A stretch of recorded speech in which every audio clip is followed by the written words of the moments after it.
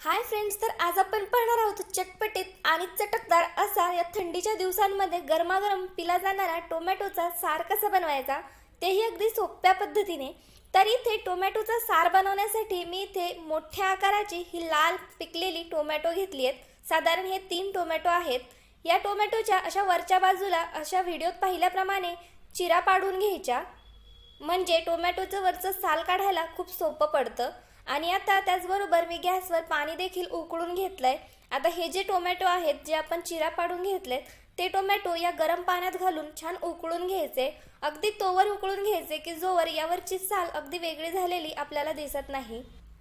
तर जोवर आता आपले टोमॅटो उकडले जात आहेत तोवर आपण एक छानसं वाटण बनवून घेऊयात. तर मी इथे पाच ते सहा काळी मिरी आणि त्याचबरोबर सात ते आठ लसूण पाकळ्या घेतल्या होत्या. ह्या छान खलबत्त्यात अशा कुटून घ्यायच्या.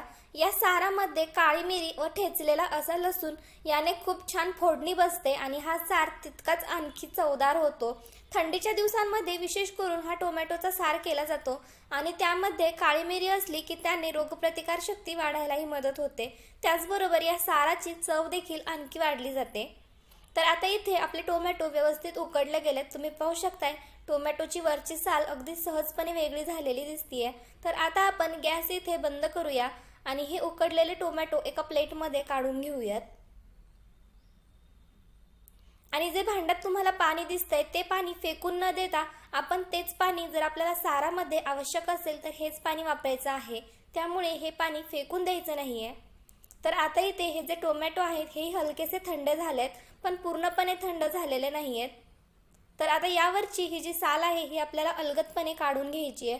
हवं तर तुम्ही या सालीसकट ही टोमॅटोची प्युरी बनवून घेऊ शकता. पण सालीमुळे ही जी प्युरी आहे ती खूप कचकच लागते. आणि प्युरी देखील व्यवस्थित ब्लेंड होत नाही किंवा एकदम स्मूथ अशी ब्लेंड होत नाही. तर त्यामुळे इथे मी वरची साल काढून घेतली आहे. तर आता या पद्धतीने आपण एकदा हे टोमॅटोचे काप करून घेऊयात. अगदी ओबडधोबडच करायचे तर तसंही आपल्याला ही प्युरीज बनवून घ्यायची आहे.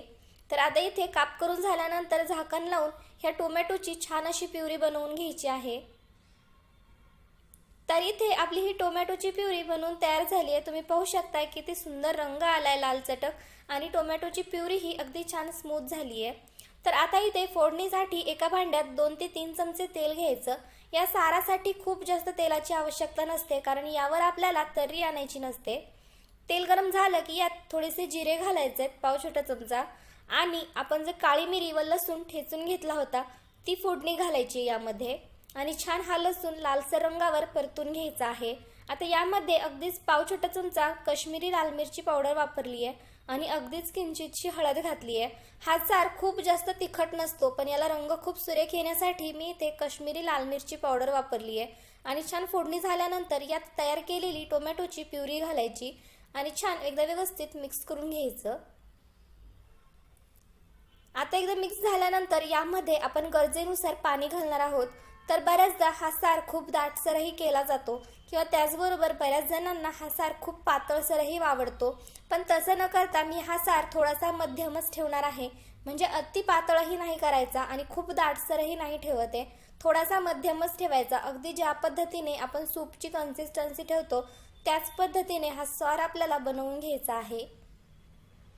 आता यामध्ये पाणी आपल्याला गरजेनुसारच घालायचं. त्यामुळे पाणी कमी जास्त होऊ शकतं. तर आता इथे ही सार पाणी घातल्यानंतर हा सार तुम्ही पाहू शकताय. अगदी व्यवस्थित असं झालेलं आहे. खूप दाटसरही नाही किंवा एकदम पातळही नाही झालेला. बऱ्याचदा खूप पातळ सार केला की अगदी ते पाणी पाणीच होतं. तर तसं न करता त्यासाठी अशी कन्सिस्टन्सी ठेवायची. म्हणजे सार अगदी व्यवस्थित होतो. आता यामध्ये चवीनुसार मीठ घालायचं. आणि पुन्हा एकदा व्यवस्थित मिक्स करून घेऊयात. आणि या साराला एक हलकीशी उकळी काढून घ्यायची आहे. तुम्ही इथे साराचा रंगही पाहू शकताय. छान लालचटक असा रंग आलेला आहे. आणि हा सार अगदी साध्या जेवणासोबतही प्यायला खूप छान लागतो. विशेष करून थंडीच्या दिवसांमध्ये गरमागरम हा सार खूप छान लागतो चवीला. तर आता इथे या साराला आपण एक छान उकळी काढणार आहोत. तर इथे तुम्ही पाहू शकता या साराला हलकीशी उकळी आलेली आहे. पुन्हा एकदा व्यवस्थित मिक्स करून घ्यायचं. आता यामध्ये आपण बारीक चिरलेली हिरवी कोथिंबीर घालणार आहोत.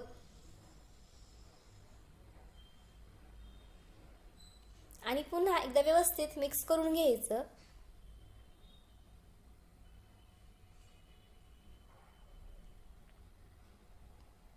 आता यामध्ये मी थोडीशी गुळ पावडर वापरली आहे कारण इथे आपण हा टोमॅटोचा सार करतोय आणि यामध्ये हलकासा लाल तिखट घातलं होतं. तर आंबट व तिखट असा हा जो चवीचा प्रकार आहे तो थोडासा बॅलन्स ठेवण्यासाठी किंवा समांतर ठेवण्यासाठी यात किंचितसा गुळ घालायचा.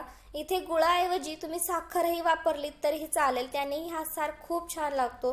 तर इथे अशा पद्धतीने आपला हा गरमागरम आणि चटकदार असा टोमॅटोचा सार बनून तयार झालाय. तर तुम्हाला आजची ही माझी रेसिपी कशी वाटली? हे कमेंट्समध्ये नक्की कळवा आणि त्याचबरोबर चॅनलवर नवीन असाल तर किरण's किचन मराठीला सबस्क्राईब करायला विसरू नका.